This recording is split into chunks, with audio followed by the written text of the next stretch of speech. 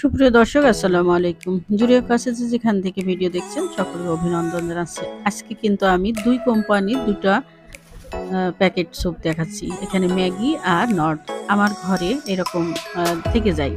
হয়তো দুই কোম্পানির আছে, একটা কিংবা দুইটা করে মিলিয়ে আছে। কিন্তু আমার তো লাগবে অনেকগুলো। অনেক সময় দেখা যায় যে মেহমান আসছে, তখন তো আমার এক প্যাকেট, দু প্যাকেটে চলে না। আমাকে তিন, চার প্যাকেট ব্যবহার করতে হবে। তো এরকম হয়তো অনেক সময় থাকে না দুই কোম্পানির। অল্প অল্প থেকে যায় তখন আমরা কিন্তু দুটোই মিশিয়ে আমরা এভাবে স্যুপ রান্না করতে পারি। তা আমি প্যাকেটগুলো সব খুলে আমি তিনটা প্যাকেটই খুলে ফেলছি। করে এখন আমি প্রত্যেকটা প্যাকেটের জন্য দুই কাপ করে মোট তিনটা প্যাকেটের জন্য ছয় কাপ মেজারমেন্ট কাপের ছয় কাপ পানি এখানে লাগবে। তো আমি এখানে দিব। আপাতত আমি এক কাপ পানি দিয়ে এটাকে ভালো করে মিশিয়ে নেব। এখানে কিন্তু নর্মাল পানি দিতে হবে। ফ্রিজে কিংবা গরম পানি ইউজ না করলেই ভালো নর্মাল পানিটা আপনারা দিবেন। দিয়ে এটা ভালো করে মিশিয়ে নিয়ে এখানে আমি উপকরণগুলো অ্যাড করব। যেহেতু এখানে ম্যাগি নুডলস আছে, তাই আমি একটু সয়া সস দিয়ে দিচ্ছি। ম্যাগি নুডলসটা কিন্তু একটু উপকরণগুলো কম থাকে টেস্টটা একটু কম থাকে। তাই আমি এখানে একটু সয়া সস দিয়ে নিলাম।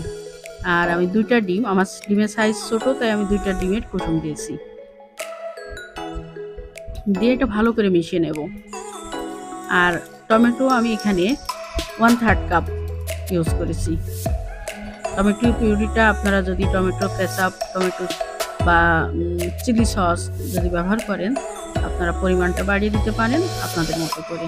আমি কিন্তু এখানে ওয়ান থার্ড কাপ দিয়েছি, পরে আমি আরেকটু দিব। আর মোট কিন্তু ছয় কাপ পানি লাগবে তিনটা প্যাকেটের জন্য। এটা ভালো করে মিশিয়ে নিয়ে আমি এটাকে ভালো করে আর কিন্তু মিশিয়ে নিতে হবে।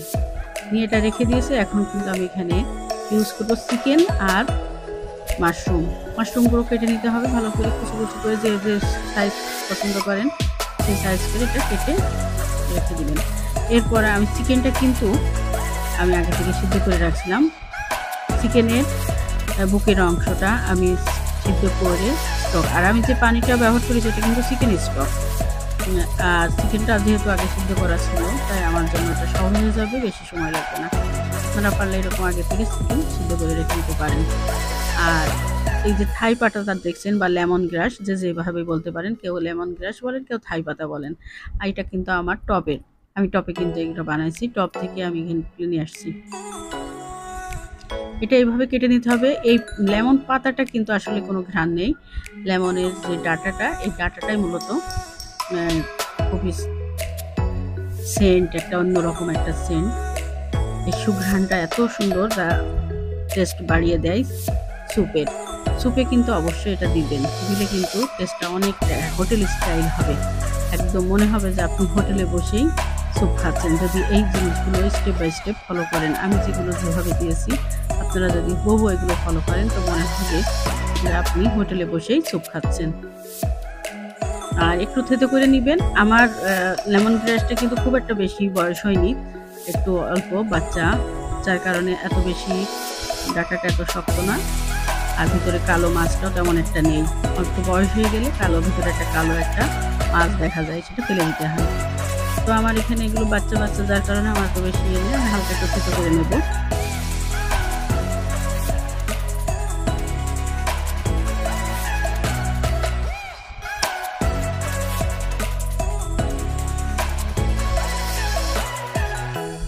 চিকেনটা আমি এভাবে সিদ্ধ করে নিয়েছিলাম, বুকের অংশ। মূলত আমি কিন্তু চিকেন, এই কিছুটা আমি মাংস রেখে দেওয়ার পরে হাড়ের সাথে যে মাংসগুলো লেগে থাকে, সেই মাংসটা আমি চিকেনটা সিদ্ধ করে নিয়েছিলাম। নিয়ে সেগুলো থেকে মাংস ছিঁড়ে নিয়েছি আর আমি চিকেনের স্টকটা রেখে দিয়েছি। এখন একটু সয়া সস দিয়ে দেবো আর টমেটো সস দেবো। দিয়ে এটা আমি একটু হালকা চুলাই নাড়াচাড়া করে নেব। আমার যেহেতু এটা কুক করা আছে, তাই আমার এত বেশি কুক করতে হবে না।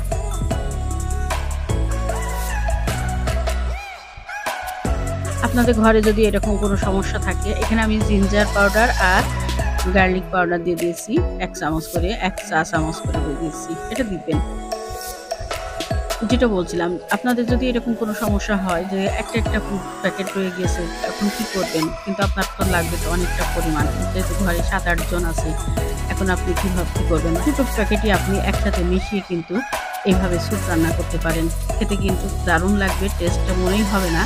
যে আপনি কোনো কিছু করেছেন দু রকম করে জিনিস ব্যবহার করেছেন এতে খুবই দারুণ লাগবে, একদম হোটেলের মতো লাগবে যদি আপনারা এই স্টেপগুলো ফলো করেন। মাশরুম যেহেতু এখানেই আছে, আমি কিন্তু বেশি কুক করিনি। মাশরুম বেশি কুক করা ঠিক না, তাহলে কিন্তু এর গুণাগুণ নষ্ট হয়ে যাবে। আর চিকেনটা যেহেতু আমার রান্না করা ছিল জাস্ট আমি একটু নাড়াচাড়া করব।